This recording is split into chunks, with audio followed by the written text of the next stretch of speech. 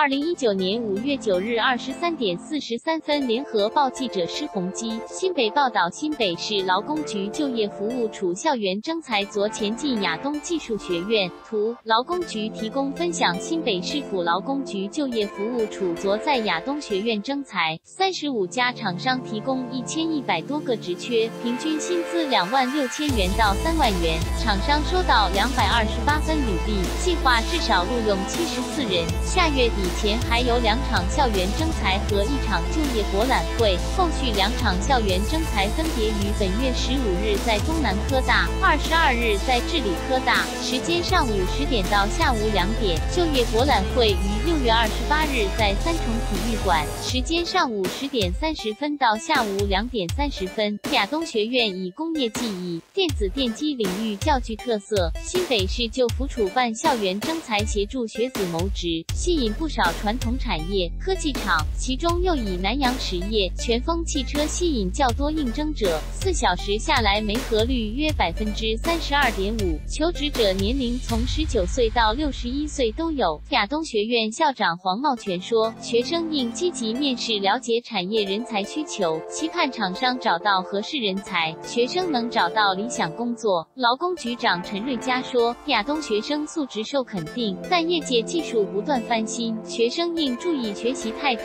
人际关系和职场沟通。工商业设计系林信准毕业生说，他锁定数位行销职缺面试，幸运被录取，很开心，还没踏出校园就找到心目中工作。现场征才提供虚拟 VR 职场环境，吸引不少应征者体验。另设有履历见诊专区，提供一对一专业咨询，增加求职成功机会。莱斯布洛克阿兹会。